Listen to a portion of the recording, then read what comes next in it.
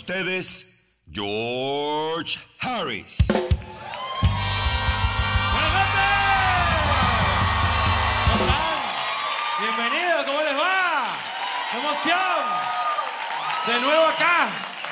Qué alegría llegar aquí a Miami de nuevo después de 15 días por allá en el sur, que traigo todos los chismes, todo, todo completo. Todos los chismes completos. Bueno, antes de comenzar, te quiero, mi amor. eh, voy a poner un tweet para que toda la gente que todavía sigue manejando esa herramienta antigua, tú, tú, no lo pongo. Me- pero, pero ya va, pero este- te quiero, mi amor. Bueno, aquí está el tweet para que se conecten a través de elgeorgeharris.com y para que toda la gente de Instagram también le digan y todo el mundo. La cosa es que la gente se relaje el cuerpo, porque veo a la gente muy tensa, muy triste. No, mira, estuve ahorita en el sur, aparte de que son nueve horas de vuelo, que son súper chéveres. Las nueve horas de vuelo uno va tranquilo, conversando, sin niños llorando, para nada. Gente muy respetuosa con los niños, niños en pañales por el avión corriendo por todos los lados. Y uno dice, ojalá empiece una turbulencia. para que el niño sepa lo que es bueno, gracias, mamá. para que sepa lo que es bueno, porque estamos mamados de esta situación. De un niño llorando, compadre, y una gente que no le pone reparo a ese demonio. Cuando sea grande, ¿cómo va a ser esa vaina? Si no te pusieron nunca un reparo de, mira, quédate quieto a la una, a las dos, un pellizco que lo deje. Claro, porque tú no puedes tener un avión de 350 personas con un ñi, ñi. Tres de la mañana, carito, me quiero bajar. Láncenlo. Abran una verga y para abajo. Buenas noches, claro, dejen dormir. Una gente que uno, oh, a mí me cuesta dormir un avión, de bolas que a uno le cuesta. La gente dice, ¿por qué? Ya es de noche. Bueno, porque si tú estás así, tú sabes que uno va así en su asiento. Y si tienes una gente aquí, aquí, que te está haciendo un masaje y te agarra el asiento para parar, así cuando te agarra te jala el pelo. Y uno, mira, pero. Pero que tú tienes, mi amor, que te decís, titis. La totona te hinchada, ¿qué coño pasa? Que a cada dos minutos te vas a parar para el baño. Entonces, uno que no tiene paz ni momento de sosiego en esa verga y medio intenta dormir, igual que ahí ñi, ñi, y otra vez la señora te hace un masaje en todos los riñones. Yo tengo los riñones ahora mismo masajeados, tengo los, riño- los riñones relajados. Porque este te van buscando hasta la piedra que tienes adentro, una piedrita, te la van haciendo, te la van dando para que se te deshaga y la botas con un poquito de agua. O sea, increíble la vaina en los aviones. Porque claro, uno viene, de- uno viene de- del pueblo de uno, ustedes que vienen, muchos que vienen de Venezuela, son dos horas cincuenta, pero mámate nueve. Y es de noche. Porque para Argentina solo se vuela de noche. Entonces, bueno, mi amor, mámate esa, eso se convierte en portes gay. Una vaina de satánicos, una vaina de... Gente que se cambia en el avión. Y se pone en bata para dormir. No, si quieren le pasamos un poquito de crema para que le den a la totona. Señora, porque hay gente que se pone hasta una bata y se pone una bata y se pasea por el avión como que se está en su cuarto. Si quiere le doy una vela y un santo para que la prenda. Y entonces tenga la habitación pues lista para usted. O sea, no, la gente, es que el, el folclore de uno es muy grande, es muy grande. Bueno, estuve en Buenos Aires, que es impresionante la cantidad de venezolanos que estamos en Buenos Aires, y ya la vaina es ridícula. O sea, tú dices, esto no puede ser. Uno va a tomarse una foto de una vaina, sale un venezolano, ¡Hola!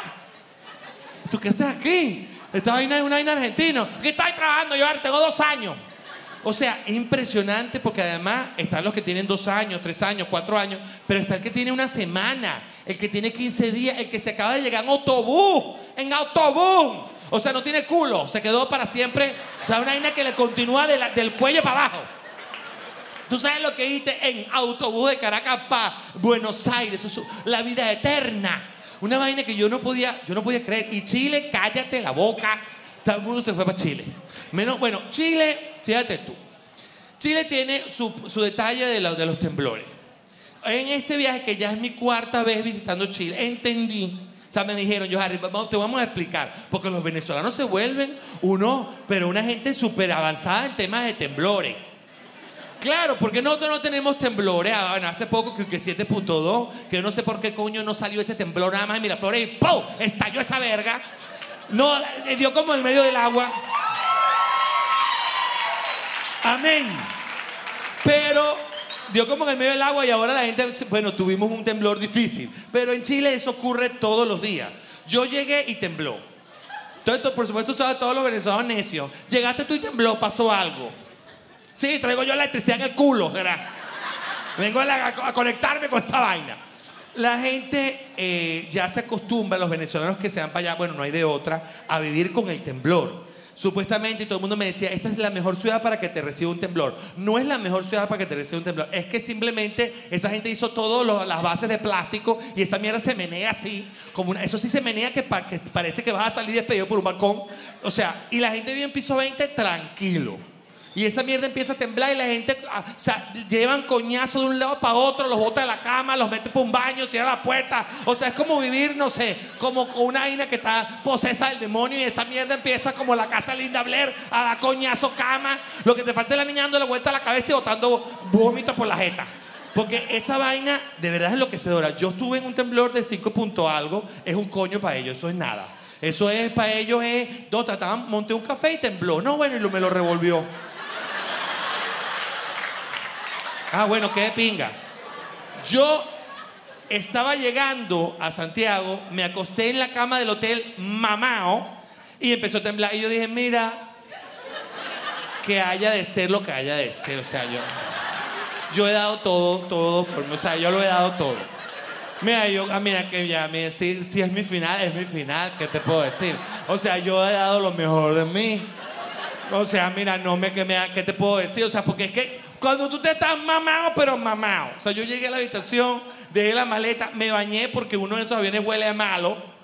Me bañé y me acosté y ya, sabes, cuando ya tienes tu boxer con tu pedacito de carne recogido, que ya estás así acurrucadito en tu cobija y empieza aquello, tum, tum, tum, y mira, mira, me entregué.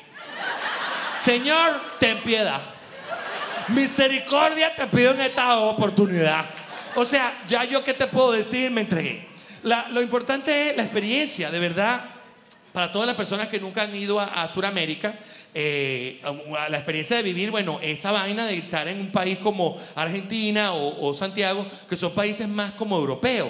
No es este Caribe que uno vive, no es este Caribe que uno se levanta con ese sol pu- puyúo y la gente con un merengue patrancado. Que, que, que, que, son, sorón, sorón, son, sorón, sorón.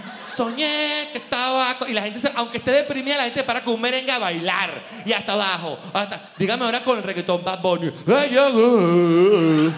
Y aquella gente, dale, dale, dale, dale. ¿Cómo me chingan las venezolanas y toda esa verga?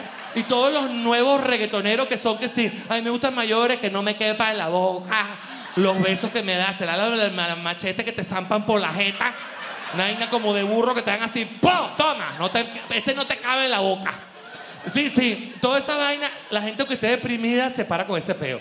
Pero uno va para, para Argentina, por ejemplo, y claro, los venezolanos me veían en la calle y se, se lavaban los ojos. Yo- y yo, pero ya, a, to- a todo el mundo, no vayas a llorar. Pues tengo como dos semanas llorando en este país, no vayas a llorar. La gente va a ver que esto es muy duro, de bola, porque esa gente oye pura música depre. O sea, toda la música y todo el peo en Argentina es. O sea, y yo quiero mucho argentinos, te quiero al lobby, gente muy culta, muy profunda, lee muchísimo. Está muy bien, mucho poeta, mucha cosa buena. Pero esa cosa del tango que te hace una, como una vaina que siempre está. Y toda la imagen de ese país es como, viste, aquí estamos en este momento.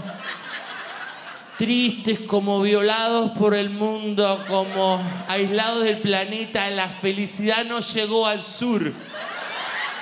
La sonrisa de los niños se congela en el tiempo y nos vuelve estos viejos amargados. Y entonces tú, uno con este sabor. Porque además lo arrecho, tú imaginas un venezolano que acaba de llegar a autobús para esa vaina. Tiene que alegrar a un argentino.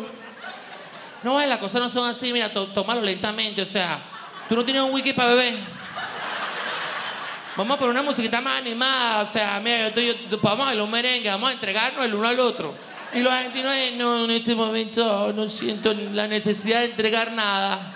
La vida me lo ha quitado todo. Yo siento un desasosiego en mi corazón que me embarga. No, no tengo cabeza para entregar absoluto. O sea, una vaina, un dolor y un peo. Y una gente, una terapia constante. Nosotros, no, nosotros no, sabemos lo que es terapia. Una gente que va a terapia en el país de uno es una gente que ya está en un momento límite de que se vuelve loco. Sí, sí, de que una que, para que una gente acepte en el país de uno, vea terapia, es porque ya se lo ha bebido todo y no supera el peo. Pilas porque a partir de este show podrás ganarte un teléfono inteligente en cada emisión. Durante el show tienes que oírlo perfectamente porque vamos a hacer control de lectura. ¿Cómo va a ser eso? Vamos a generar una pregunta de lo que ocurrió en el show y tienes que responderla correctamente.